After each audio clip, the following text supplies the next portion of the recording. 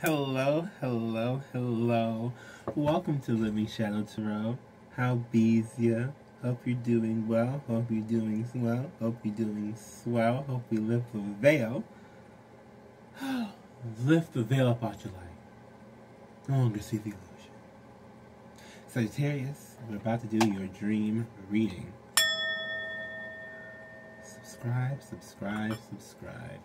Feel the vibe and subscribe. Feel the vibe and subscribe. Feel the vibe and subscribe. Subscribe, subscribe, subscribe. Now, if you are new here, I do have another page called Shadow Subliminals in which you can check out. They're for positive um, thinking, reprogramming of your subconscious. A lot of people, um, we don't. Ooh, we got the earthworm is the first right here. A lot of people don't. Um, think about their subconscious is kind of the point a little bit. But um, things that we take in, we take in a lot of things subconsciously. Should I t- okay, take them off. Take them off. Earthworm and the moth. I like this. Are you Caterpie? Is that what this is? Are we turning into Caterpie? No, because I'm thinking about Venomoth. But Venomoth is just no. Venomoth was Venonat. That's what it was. I was like, but Caterpie wasn't that. Caterpie is um Butterfree. Ooh, the eagle. Love this eagle spirit. Look at my nails. They match the card. I love it. Okay. And we got the fish. Ooh, the fish. Oh, this is no, this is a good this is a good thing. This is a good thing. This is a good thing. I know when I say fish, even though even if I'm talking about it like I know that's like a thing, um I, I had to find out that was like a thing in like gay community to like say like to say that and like it's like a like it's a bad thing. I, I don't say that as a bad thing. It's not a bad thing when I'm trying to talk like if, like if I'm talking about the fish, I'm just saying it because it's like funny to me. It's like glub glub glub glub glub glub. I probably watched Finding Nemo too much. Over here just being Dory. Glub glub glub.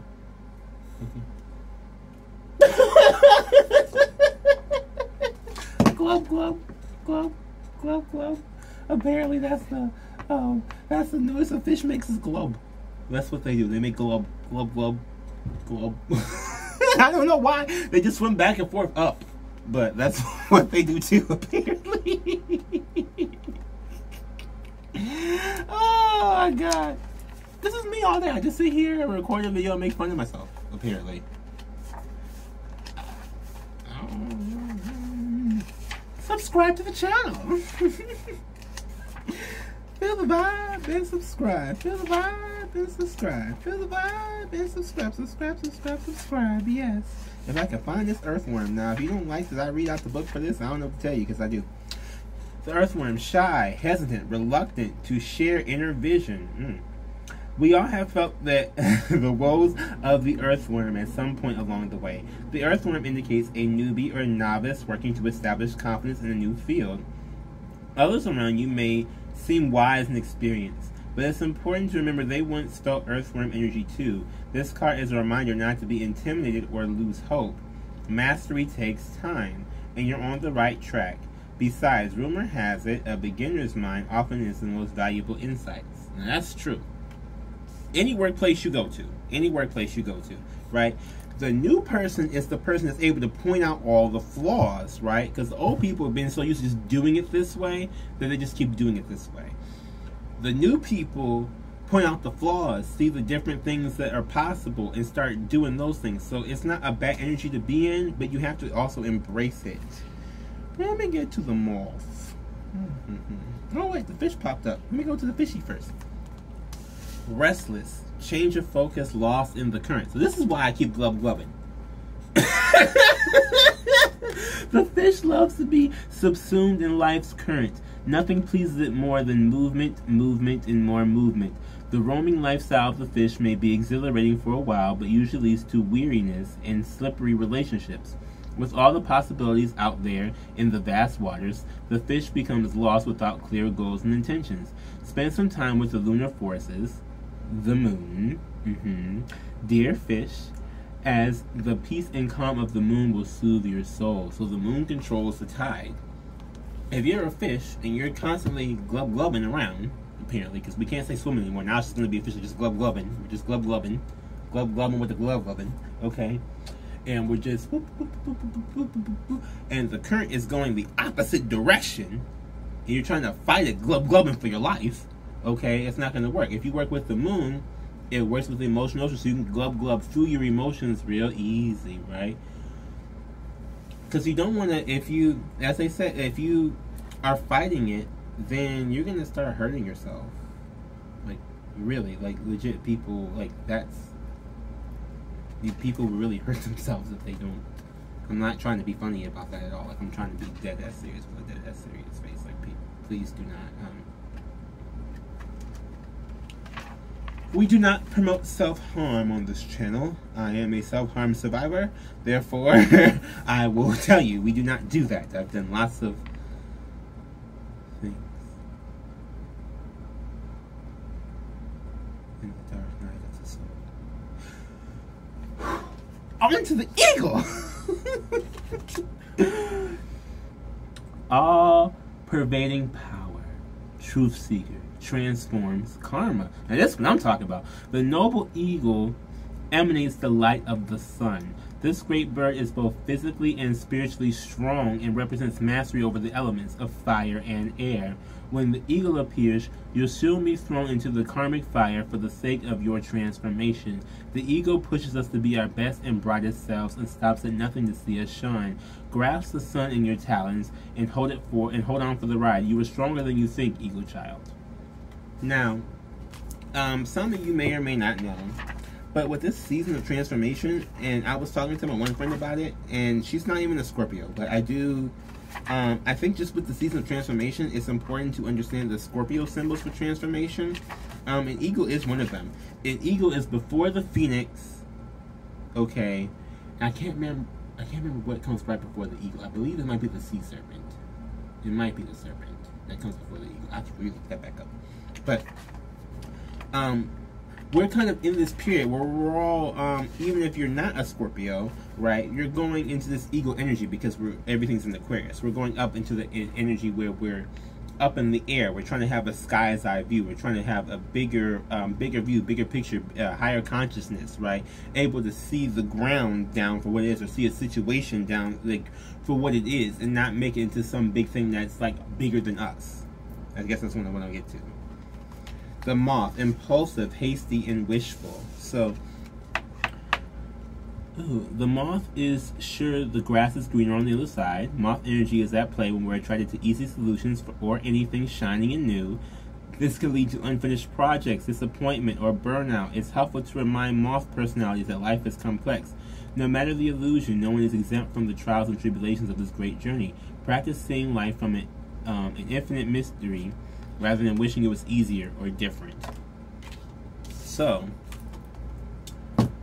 you may be new to this channel. I don't know because we got lots of new cards here. So we got the Earthworm, which is like you're new to seeing different things. So you may be new, excited, jumping all over the place, trying to see everything, right? Um, don't just come, that you know, whatever.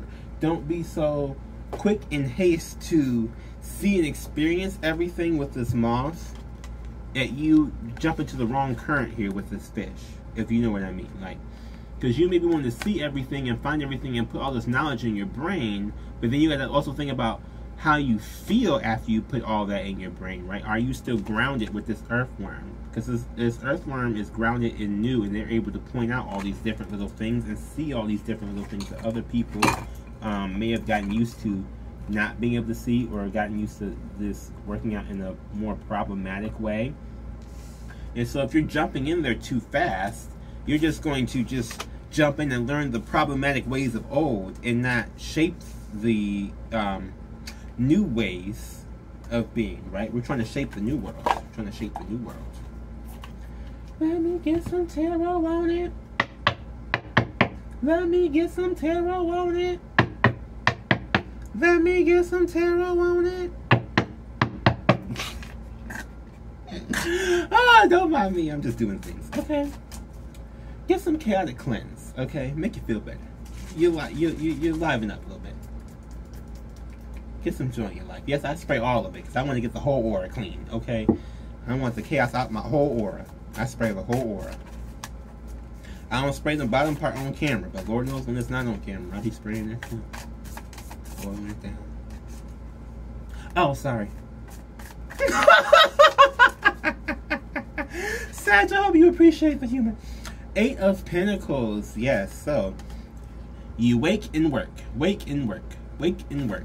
So this with this earthworm energy, you may have started a new job or you may be trying to start a new project here. And it's like every day you wake up and go straight to working on that. Every day you go you wake up and go straight to working on that. You don't pay attention to anything else. Nothing else is in your path. I don't see her. Okay. Ooh. Justice, Hermit, Tower, Four of Wands, Empress. Well, golly gee, what is this reading? Are we still talking about the same people? I'm just playing, no. I'm just playing. All these cards are upright. This is, I think this is the first dream reading where every single card has come up upright. Yeah, I think so. Um, we have justice here.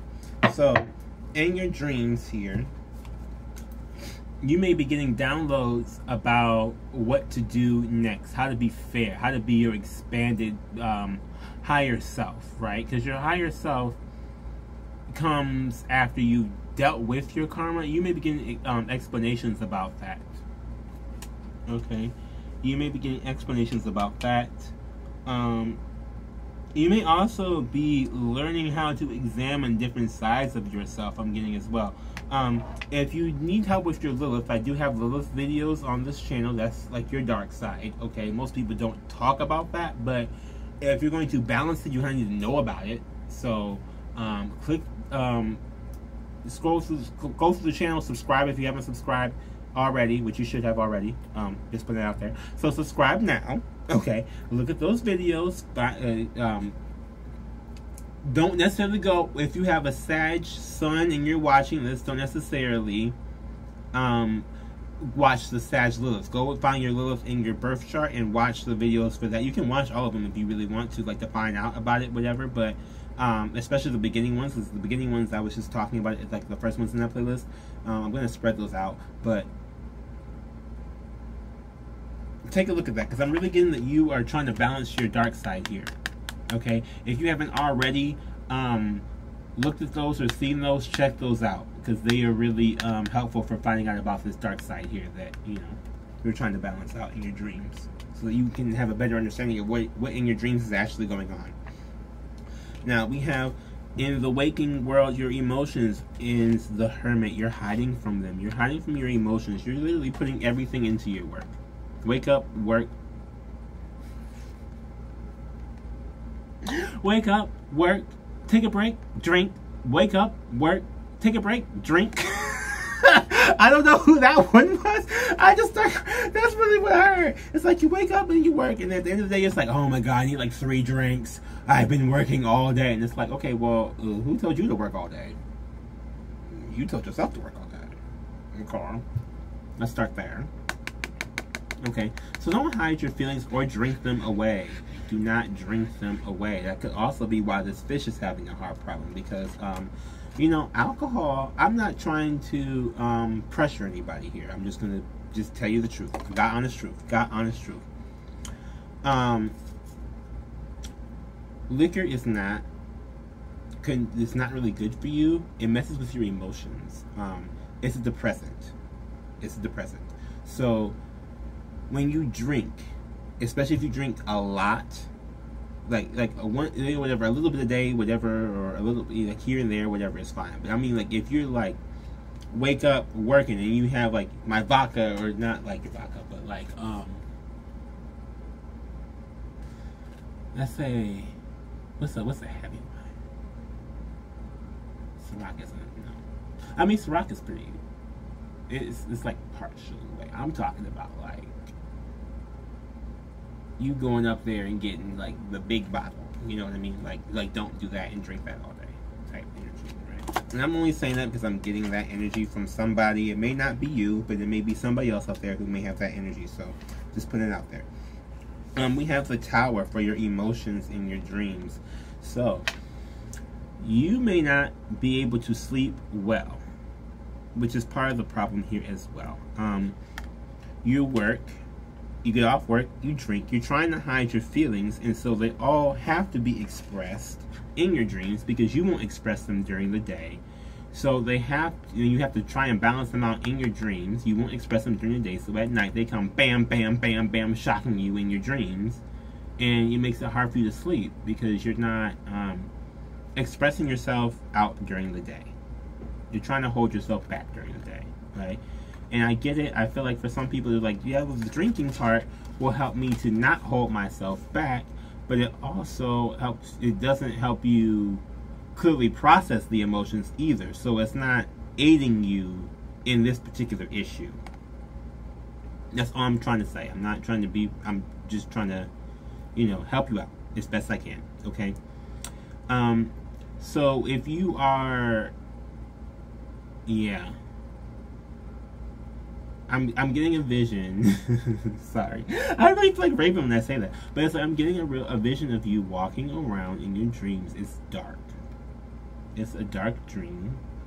Then you walk into like a classroom, okay, and you you're like sitting there with your notebook and just like studying, like you know whatever, writing in the, like in the classroom or whatever, and then someone like throws something at you, and you're like, shut the fuck up, like you know, like it's like a it's like a whole like high school like thing or whatever. I don't really know what this if this is like a nightmare for you.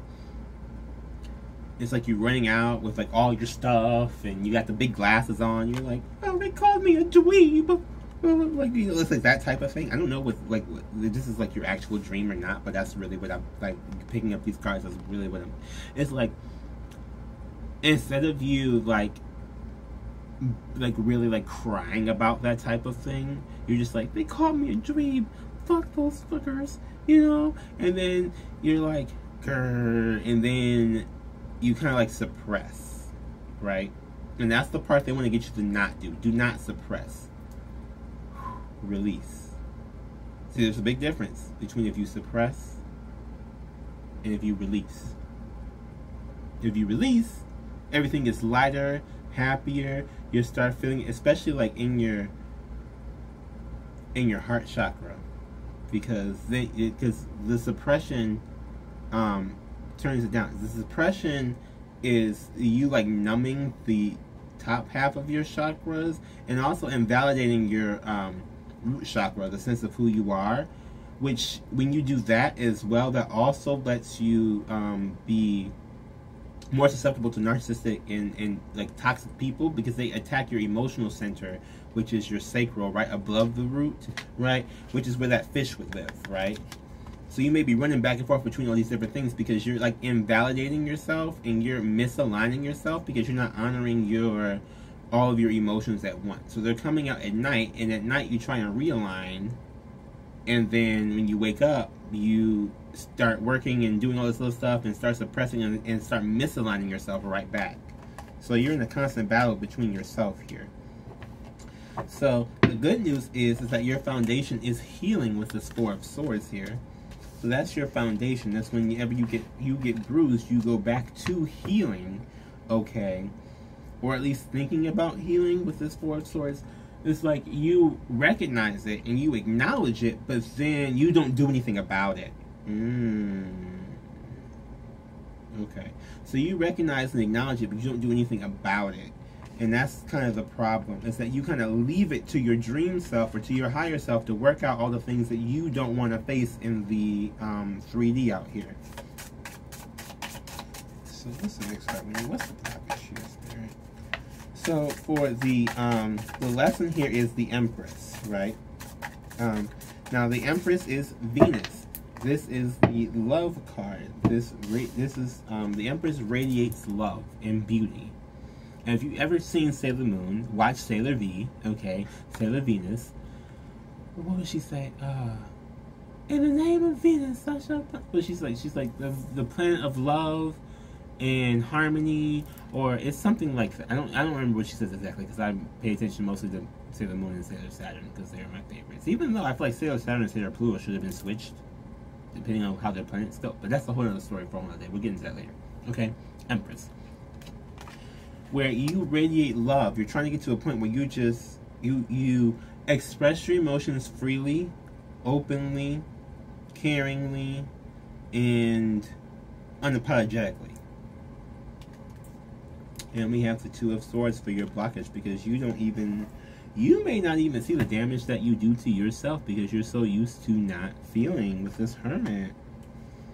You're used to not, you're used to not feeling. You're used to walking around everyday life not feeling. You're used to walking around everyday life holding the torch for, you know, like holding yourself back, holding this torch up, like keeping it like hidden within.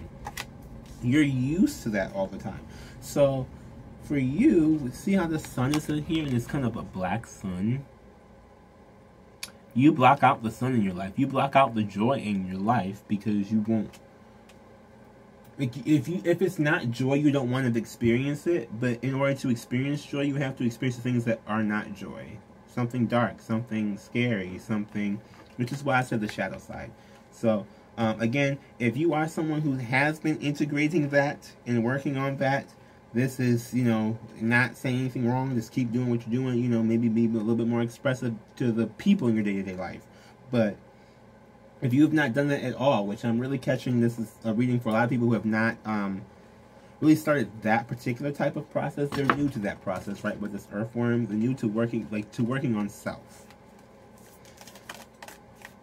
The the biggest draw I can tell you is that if you work on yourself, you get rewarded in ways that you don't even realize. A lot of people we're so focused on um, like money and things like that, you don't realize there's there's a spiritual abundance. I had to come to terms with that. You know, we talk about abundance all the time. There's spiritual abundance. There's, you know, the Empress is not broke, but the Empress is not focused on money. The Empress is focused on energy and love and putting out that loving energy. We have the warrior and the hunter. Ooh, interesting. So both very um, fighty cards. And my throat, you may have a throat chakra thing from not expressing yourself because my throat is starting to, I don't know if you can hear it in my voice, but. mm hmm. Clear that out. Yes. it's like that, y'all. It's like that, y'all. It's like that, y'all. It's like that. It's like that, y'all. Okay, Mariah. The riddle, the creator, and what's this one over here? And the thread. Okay. Now, I do read the book for these, and then we close off the reading. So if you made it this far, subscribe. And if you have not, well, I guess, why the hell am I talking to you? So, I mean, if you're gone, why am I talking to you? Obviously, you must still be here if you're hearing me. So, if you're still here, hello. Uh, oh, yeah, still here. Not going nowhere? Oh, interesting. Mm -hmm. Mm -hmm. Oh, yeah, I heard that over there. I heard say, oh, I'm not going anywhere. Oh, you're not going anywhere? Hmm, interesting. We have the thread, the path, the vein, the circuit. Life is a tangle. So much happens simultaneously and circuitously, leaving us grappling for meaning and direction in a network of distractions. When we connect to the energy of the thread, we strike the deepest vein in the body. Our whole being responds to this tug, meaning is pumped through our bloodstream. Our mind and spirits are lifted. Remember who we are and what we came into this world to do. That's what I'm saying. That's what this Lilith is. That's why I've mentioned that so deep. Because the Lilith is um your id in um psychology would be like your id. Right? Um that would be like your instinctual, like what you came in this world to do. Like that contains like the the plans for you in there as well and you like whatever your soul is desiring for you to do is because that desire was placed upon you before you got here. Does that make any sense? Like you um you yearn to do certain things because you were placed with that desire before you came to this earthly realm as a little baby. And it's our it's our well it's our parents' job to also like to recognize that dream and foster that dream. But after they're gone, it's it's our um, responsibility to really like find out what that was, especially if you weren't allowed to um, do those things when you were younger. If your parents were not supportive of you, I can relate. If your parents did not believe in you, I can relate. If they were just trying to criticize and hurt you and harm you, I can relate. So that's why I'm like, this is for everybody. You know, if you got the North Node too, because this is, I can relate. Okay, we got the riddle, the puzzle, the question, the mystery. When the riddle is present, we must stop searching for the right answer. It can't be found. Ultimately, it's not important. Rather, there must be a shift from the literal to the metaphorical, from logic to mythic. You are thinking too small and literally about the situation. The riddle card appears when the energy is deep and mysterious, like the elusive wisdom of Zen Koan. Focusing harder on it won't do it. Neither will increased effort. Okay? Time, surrender, and humor are your only allies. What feels like the most pressing dilemma won't reveal its deeper wisdom for a long time. Eventually, you'll learn a profound lesson from the riddle. For now, get comfortable with the limitations of your intellect and the reality of not knowing. It may, in fact, be the only reality that there is, you know? So that's what I'm saying. Like, with this fish, this is, this is going with the flow, right? These two together. Because this is basically saying that if you stop trying to control everything and just let something flow out of you, like, they, I don't know if you feel the difference. But I think there's like a certain point where you can feel the difference. Okay? You can feel when you are getting guided to do something and whether you are trying to force something or if you're working with spirit for something. Like you can tell if you're working with, against, or with spirit, against spirit, or without spirit, I guess I should say. You can kind of feel the difference. If you can't, um, I can help you with that. Get a shadow healing session. We'll talk about all that stuff. I'll explain to you what I know about, you know, this this journey going on so far because I've been trying to lean into it very deeply. Swipe out that root chakra. trying to go into it very, very deeply. Just let it wash away. Feel the tingles in your feet. Okay. The creator, the artist, the alchemist, the innovator. Come on to the shadow shadow healing session. Oh, look. The creator, the first archetype in the trio of, of existence, is not intimidated by darkness or by lack. They know that from the void, creation inevitably emerges. With meager, minimal, and outlandish materials, the creator reveals a new image. They make the empty room resonate with healing sounds. Oh, this is interesting. So, um, the Scorpio reading I had, if you want to know about more about the empty room, I did have a Scorpio dream reading a couple days ago that talked about the empty room a lot. So, if this um, makes you, this the creator is what adds to the empty room, okay? They generate bounty from the seed that others toss away, and the seed card came in that reading too. Wow. Okay. Through generative, uh, no, though generative, this archetype annihilates preconceived notions of what is possible leaving unexpected openings in the wake of its destruction. This, the creator does this first by being absolutely present to what is, not imagining or wishing things were different, but owning what they are currently at this moment. Second, trusting that a force greater than themselves awaits constant collaboration with each human soul, whether we call it nature, God, goddess, Reiki, any of those things, spirit, ancestors, whoever you want to call upon you know, whatever. Just understand it's something higher than yourself. That's actually doing something, not just something that you, you know, we're, we're in the we're in the time, we're in the spirit, we're in the energy where, the you know, the things you actually call upon actually show up spiritually. So watch what you calling upon, because if you calling upon some demons, uh, and them demons show up, do not be upset with anybody else if you trying to summon a demon and you summon one for yourself, I'm just gonna say it. I'm just gonna say it. We have the warrior here, the samurai, the soldier, the advocate. We often envision the warrior as an armed figure with sword in hand, moving blindly toward battle. Yet the deeper aspects of this archetype bring us face to face with death itself. The warrior stands precariously at the edge of life and death, trusting the external to guide the sword's blade. The warrior's work requires presence, alignment, and purpose. If and when the warrior loses its center, meaningless confrontations and violence are the default response. When this card appears, it is important to question the battle at hand. It is likely a great one, with deep roots and long standing tensions. The action you take will stay with you long after the dust settles, so choose wisely, brave one. As you draw your sword, realign with the external wisdom within, then surrender to battle. So, this, to me, it's about picking your battles in this context, right? Because right now, you're picking, the battle you're picking is work and not yourself. Because you need to, um,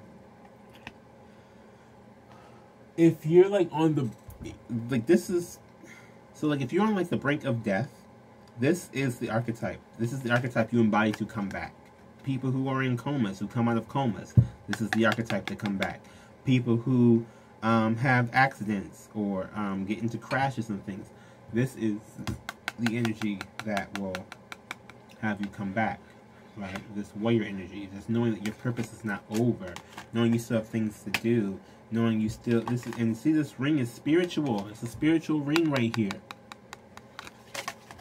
Over the third eye of the skull. It's like you you you work with these things, right? Especially if you're on this channel. If you're on this channel, we're assassins here. I don't know if you got told. Um, once you subscribe, you join the assassination. You become we're we're trying to transform you to an assassin. Okay, you just slice off enemies and we keep it moving. Okay, we don't deal with the bullshit. We have the hunter, the seeker, the pursuer, and the predator. The hunter hunts. Duh. Um, they are on they are on a precise mission with an aim. To return home empty-handed would be to fail, which is not an option in the hunter's eye. Mm. This archetype will journey far and wide, seeking the prize that calls to its heart or stomach like I said, that's sacral, what you feel you need to do. Or um, even if it's not the sacral, even above it's the solar plexus, which is like your confidence and stuff like that too. Um, tales of bravery and feats of strength often result creating a life full of adventure. The hunter, is, the hunter is skillful, quick, decisive, and results oriented. Like the great hunting goddess Artemis, who carries her quiver upon her back, the hunter typically has a weapon of choice. When this card appears, it is critical that you ask three questions. What am I hunting? Why am I hunting it? And is the weapon I hold so tightly in my grip truly needed for the task at hand? And I will also ask another question is, are you hunting down something that is worth your time?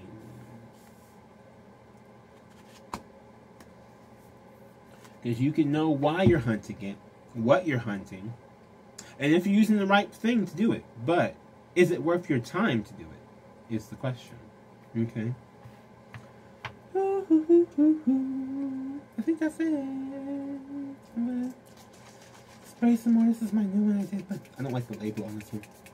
Oh, a chaotic cleanse. Yes, I, I, I need to go put some more in here. I, I, I, use it frequently. It's actually very, very helpful. It cleanses out your aura. Okay, link is in the description below for that, along with my bath box and other various things I have to really do spiritual cleansing.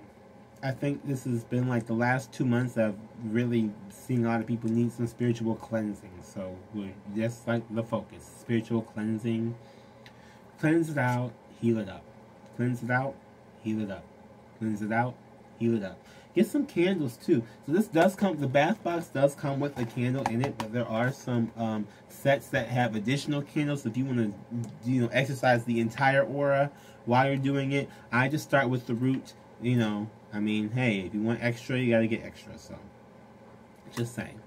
I do want to thank you all for watching. Thank you all for commenting. I've been loving these comments. I don't know, like, if you like I don't know, I just I either get like the best ones like make me want to cry because they're just so sweet and appreciative, or I get the ones I'm just like, oh my god, like we really like are like friends or whatever because they're so like nice and kind and thoughtful. I'm like I just appreciate them. I appreciate all the likes I've been getting. Please keep liking the videos. Please keep sharing these videos. Please keep um subscribing to the channel. Okay, share these, especially these dream. I feel like these dream readings are really really helpful. So share them out. Um, the last one I did, I think for Sagittarius was um help. I can't remember what that one was. I know the one before that was uh, very very fear based. So um yeah, just share these, check them out, and we'll see you later. Bye.